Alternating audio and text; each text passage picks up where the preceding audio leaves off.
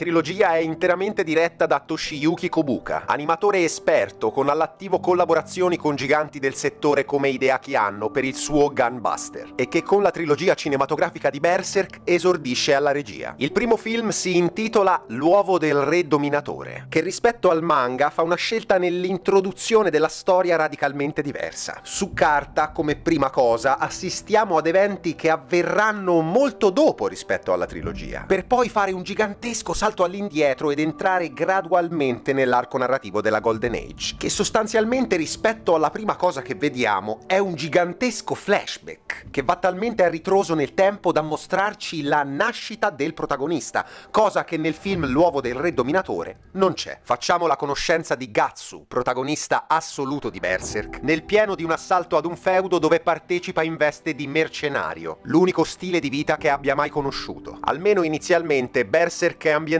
nella regione di Midland, dove i tumulti di guerra scatenati da pretese sul territorio da parte delle varie famiglie reali sconvolgono l'equilibrio della vita ed impediscono la pace. Ed in un contesto storico pseudo-medievale di guerra perpetua, Gatsu nasce e cresce formato nel sangue. I sentimenti non hanno nessuna importanza. Le ambizioni non hanno nessuna importanza. Difatti Gatsu non ne ha. Vive alla giornata, facendo l'unica cosa che sa fare: uccidere il prossimo e convivere con il dolore. Perché per quanto come combattente Gatsu abbia una reputazione incredibile tra i guerrieri di Midland, visto la sua precocità e la sua incredibile capacità di gestire una spada così grande da renderlo quasi sovrumano, in realtà Gatsu non è altro che un essere umano rotto all'interno, definitivamente compromesso, ma che nonostante i suoi traumi, nonostante il suo dolore, risponde alla vita e al destino a furia di colpi di spada. Durante l'assalto del feudo, Gatsu sfida ed abbatte il capo dei guerrieri avversari, decretando la vittoria per la sua parte ed attirando l'attenzione di Griffith. Sì, nel manga si chiama Griffiths, ok? Ok.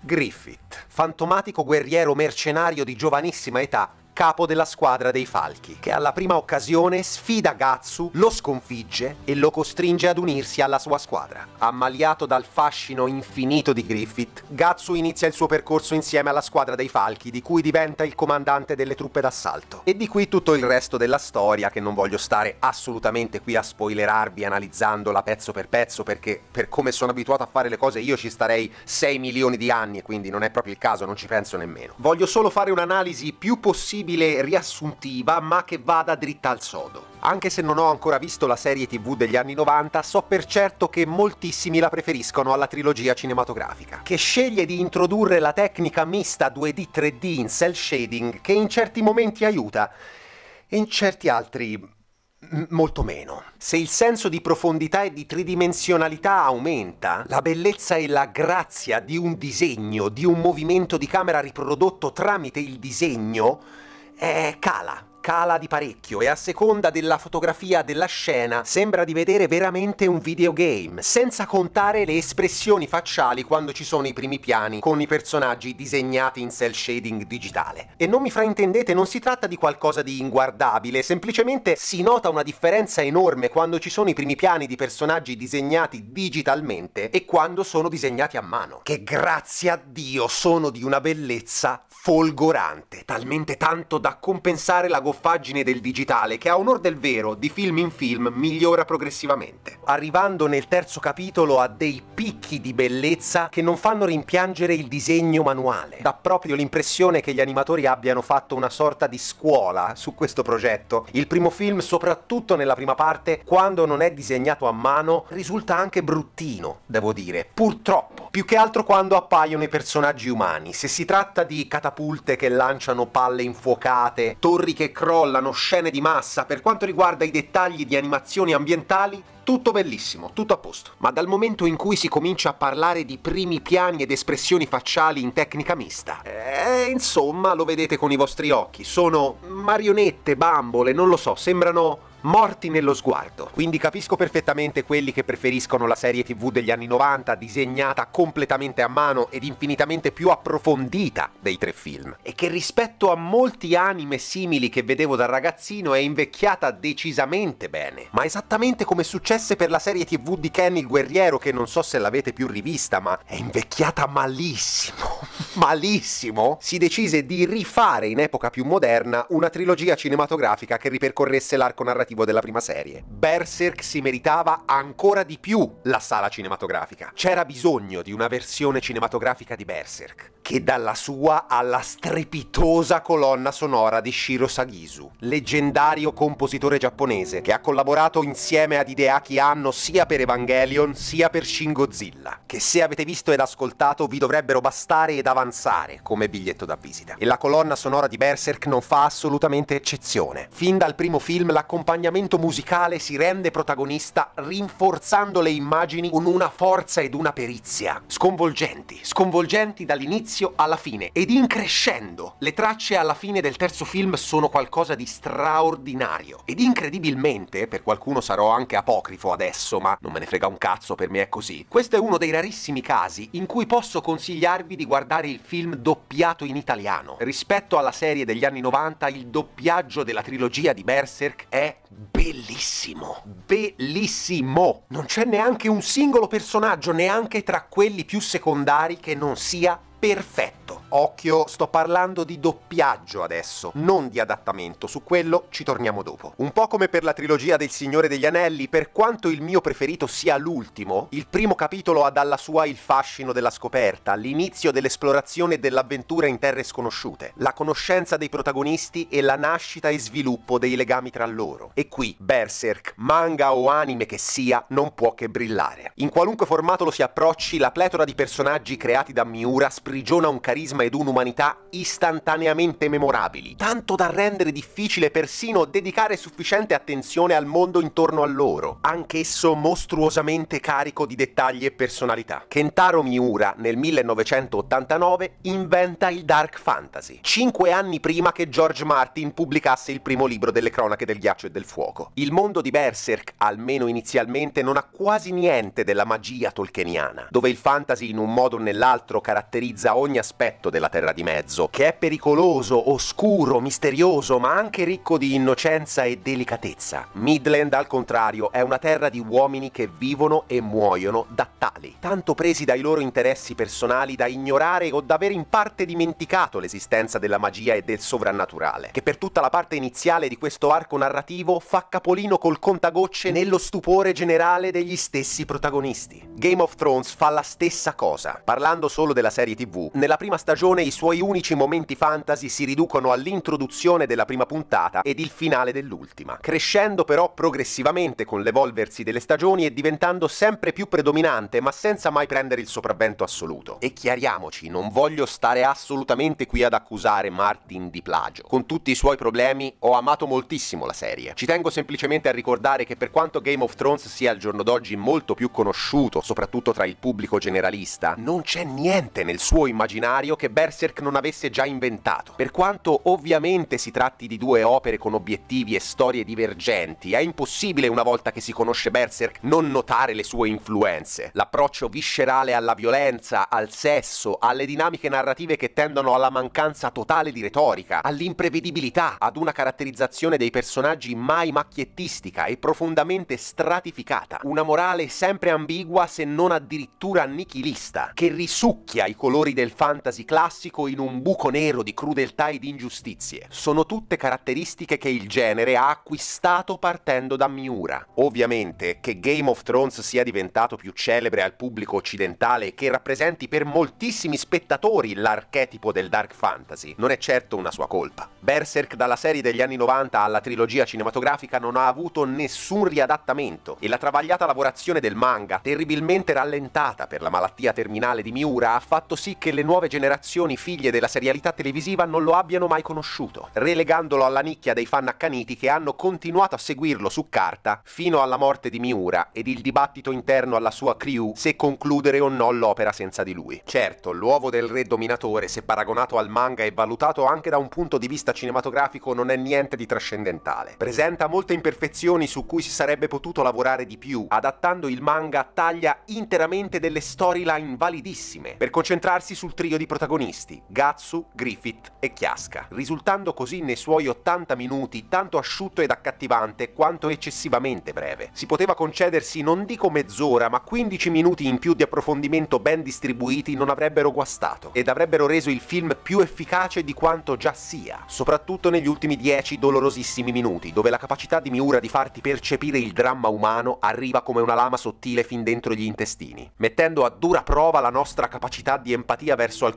personaggi e portandoci a fare le prime riflessioni sulla natura dell'uomo e sul senso dell'amicizia, con dialoghi destabilizzanti ed inaspettati, che lo elevano da una sufficienza piena ad una abbondante. E lo so, può suonare contraddittorio che il mio anime preferito abbia un primo capitolo più che sufficiente, ma questa trilogia rispetto al peso e la bellezza dei singoli capitoli di altre non vive della loro individualità, esattamente come per la trilogia prequel di Star Wars, dove i primi due episodi servono solo a costruire le fondamenta per l'epilogo, che alza l'asticella molto oltre lo standard settato fino a quel momento. Vero che si arriva alla fine in un baleno e se ne vorrebbe ancora, ma come introduzione ai personaggi e gli elementi dell'opera fa assolutamente il suo lavoro. Per quanto Okubuka si sia pedissequamente attenuto alle tavole di Miura, limitandosi a creare una conseguenzialità dinamica nel collegarle registicamente, per chi ha letto il manga fa male vedere personaggi secondari estremamente importanti venire così marginalizzati, ma Gatsu, Chiasca e Griffith, focus assoluto di questi film, ne escono grandiosamente.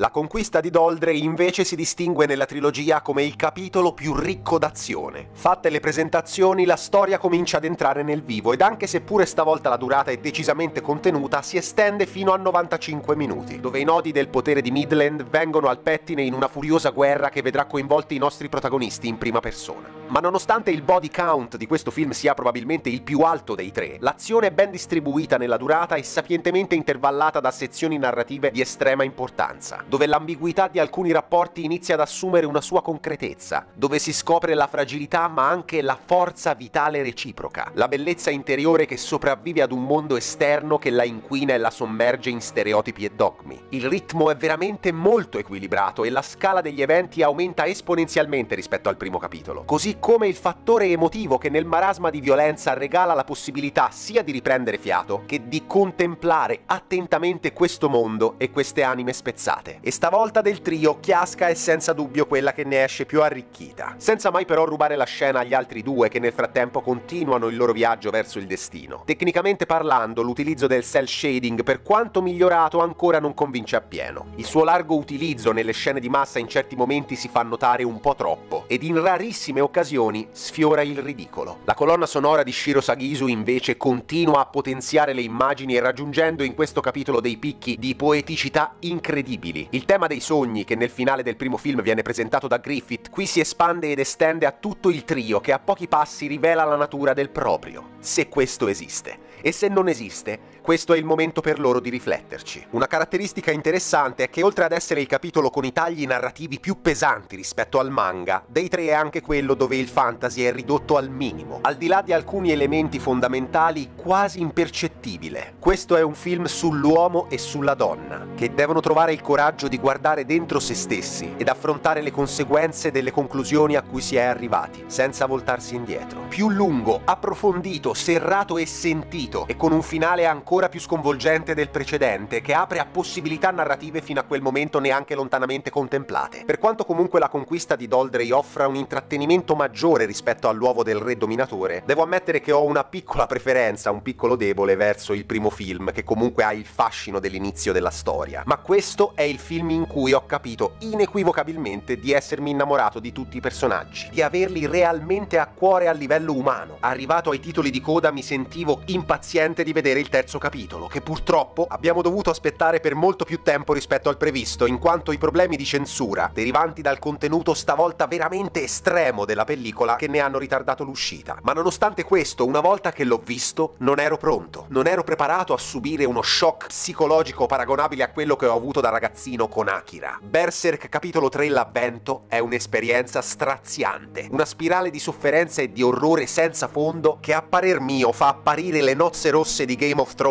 come una cosa da niente. Il ritmo della narrazione qui trova un equilibrio praticamente perfetto. C'è una maggiore attenzione ed efficacia sia nell'adattamento del manga sia dal punto di vista tecnico. Il tono si fa sempre più spettrale e fatalista, di una tristezza cosmica, proseguendo passo dopo passo verso un ultimo atto che tocca il culmine nell'esplosione di fantasy horror più terrificante che abbia mai visto in vita mia. Che Miura avesse abbracciato l'immaginario medievale europeo dal punto di vista architettonico e mitologico era chiaro fin dall'inizio, ma con l'entrata in gioco di forze superiori che sconvolgono gli equilibri, diventa mostruosamente ovvio quanto il suo orrore sia anch'esso di ispirazione fortemente occidentale. Una rielaborazione e citazione diretta, proprio schietta, del Clive Barker di Hellraiser in chiave catastrofica e che regala scene tanto terrificanti quanto visivamente magnifiche. Si vede che Kubuka qui ha dato il 130% sia nel rendere al meglio le tavole di Miura che dedicando alla storia e lo sviluppo dei personaggi il tempo che meritano, arrivando ad una discreta durata di 117 minuti. Ma chi brilla più di chiunque altro è Shiro Sagisu, che forse riesce a fare ancora meglio del regista, sostenendo le sue immagini già bellissime con una composizione strepitosa, carica di disperazione e sentimento, svariando tra chitarre acustiche, cori gotici e mantra meditativi che rendono l'esperienza realmente indimenticabile. Un film tremendo, tremendo e realizzato benissimo, dove il dolore arriva allo spettatore senza compromessi, scatenando sensazioni che rimbalzano tra l'impotenza, la rabbia,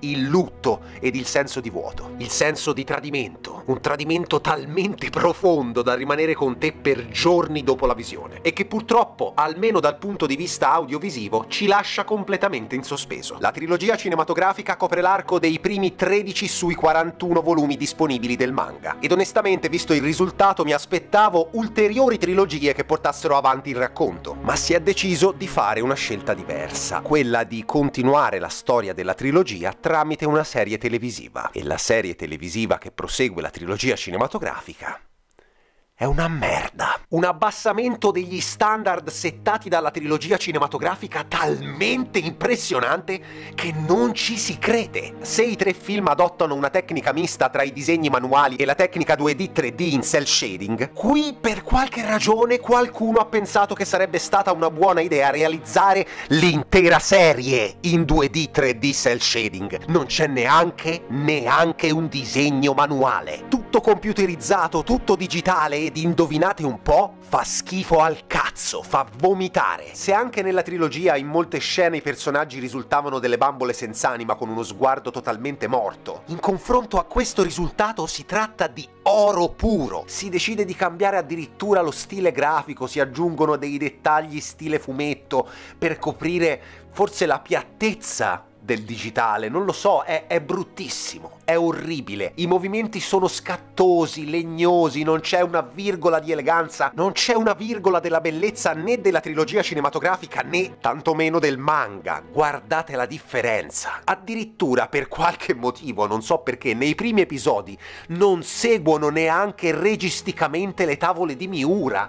È tutto a cazzo, tutto a cazzo! Ed è veramente un peccato perché poteva essere l'occasione di valorizzare tutti gli archi narrativi dopo l'eclissi, già ritenuti dai fan e dall'opinione pubblica in generale come inferiori, quando solo il pensiero di una trilogia cinematografica del livello della precedente sull'arco narrativo del Guerriero Nero eh, mi fa bagnare le mutande. E come un idiota sono sempre qui che ci spero, sono sempre qui che lo aspetto, ma dopo una serie televisiva che tratta proprio questo arco narrativo in questo modo, non lo so non so se sia più possibile. Portando però così lo spettatore che vuole continuare ad approfondire questa storia fino alla fine a recuperare il manga, dove Berserk vive nella sua forma più alta ed integrale, e che stando a quello che i collaboratori di Miura hanno detto dopo la sua morte, continuerà per altri dieci anni fino ad arrivare al suo epilogo definitivo. Ma vi consiglio ulteriormente di immergervi in questa trilogia cinematografica non solo perché per me si tratta di film molto belli a cui sono veramente affezionato, ma perché è uno dei modi possibili per approcciarsi ad una di quelle delle storie che io reputo fondamentali. La speranza finale è ovviamente che qualcuno inizi a leggere Berserk, ma se non avete questa abitudine, se non rientra nei vostri interessi leggere manga, questa trilogia compensa parte di quella lacuna e per chi deciderà da qui in avanti di addentrarsi su carta si tratta comunque dell'incentivo migliore possibile. Per come sono fatto ne avrei parlato molto di più, sarei entrato nel dettaglio, ma non voglio rovinare niente a nessuno, in quanto forse il target di questo video sono proprio coloro che Berserk non lo conoscono. E spero di avervi incuriosito abbastanza. Grazie a tutti di essere arrivati fino qui, un bacione e alla prossima. Bye bye.